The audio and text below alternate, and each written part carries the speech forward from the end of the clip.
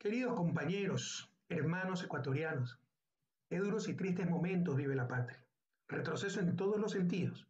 Volvió la mediocridad, la ineptitud, el incumplimiento de promesas de campaña.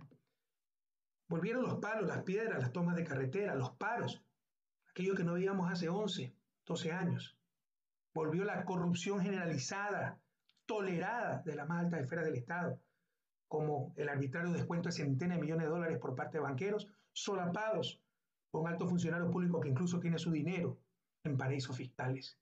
Pero no desanimarse. Como decía el gran Eloy Alfaro, mientras más oscura la noche, más cercano está el amanecer. Llegará ese amanecer, es cuestión de tiempo. Han tratado de bloquearnos políticamente, impedirme regresar a mi patria con la más feroz persecución judicial de la historia contemporánea del país.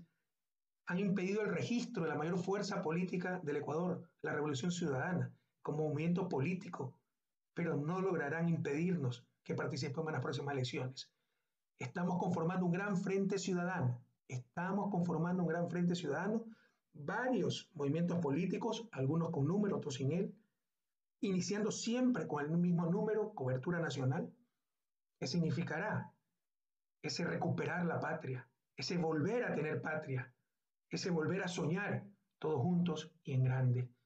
A nuestros candidatos a nivel local, a no dispersarse, a no desesperarse, a buscar a los dirigentes de la Revolución Ciudadana para inscribirse en este gran frente ciudadano, hacer las alianzas locales también necesarias, pero jamás con los oportunistas, con los corruptos, con los mercenarios de la política. Quisieron enterrarnos y no entendieron que somos semilla. Volverán los días de gloria, volverán compatriotas. Hasta la victoria siempre.